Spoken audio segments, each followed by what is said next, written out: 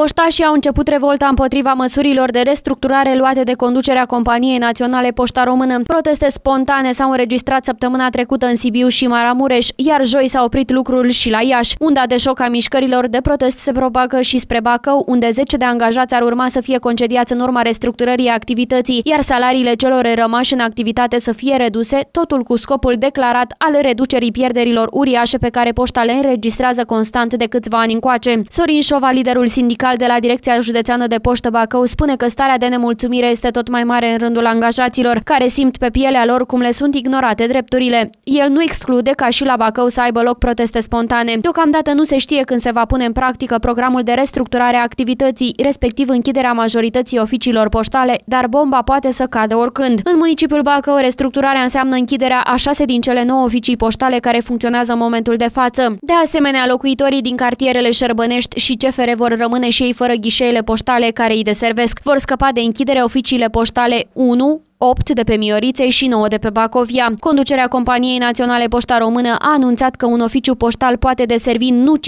15.000 de locuitori ca în prezent, ci poate face față la 50.000 de locuitori. Închiderile de oficii vor afecta nu doar populația, ci și angajații poștei. Unii dintre ei vor fi relocați, dar cei mai mulți vor fi trimiși în șomaj. De menționat că și circa 50 de ghișee din comune sunt vizate de schimbări, astfel că programul le va fi redus de la 8 la 4 ore. Prin urmare, și celor 300 de angajați din aceste ghișee ele vor fi reduse contractele de muncă în aceeași măsură, ceea ce înseamnă lefuri mai mici, dar și posibile disponibilizări.